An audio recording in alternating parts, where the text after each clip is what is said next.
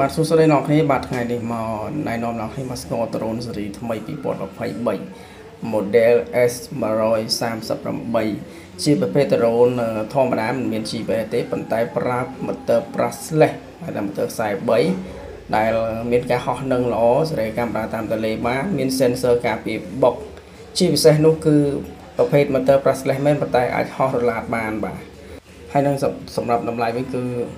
ឡមែនទែនគឺក្រោម80ដុល្លារទៀតអញ្ចឹងក្រោម80ដុល្លារយើងអាចទិញប្រភេទតារ៉ូនដែលមានគុណភាពល្អបាទសម្រាប់អ្នកដែលរើរៀនលេងចង់ហោះបែបរឡាអីហ្នឹងគឺអាចយកប្រភេទតារ៉ូននេះបានបាទហើយសម្រាប់ដ្រូននេះដែរគឺបំពាក់ជាមួយនឹងថ្មទំហំ3.7វ៉ុលនិង1600មីលីអាំពែតែអាចហោះបានខ្ទង់12ទៅ15នាទី ហើយជាមួយនឹងការហោះហើរវាតកតងនឹងកម្ពស់គឺហោះបានក្រោម60ម៉ែត្រចម្ងាយ150ម៉ែត្របាទហើយសម្រាប់ការបញ្ចូលថ្មវាគឺយើងចំណាយពេលតិចមែនតើគឺខ្ទង់1ម៉ោងទៅ1ម៉ោងកន្លះគឺពេញតែម្ដងដែលយើងប្រើជាមួយនឹង power bank ឬក៏ជាមួយនឹងដុំសាកទូរស័ព្ទដែលមានល្បឿន5វ៉ុល2អំពែបាទហើយលក្ខណៈពិសេសរបស់ដ្រូននេះដែរគឺមាន sensor ការពារបុកគ្រប់ទិសតែម្ដងបានន័យថាជុំវិញខ្លួន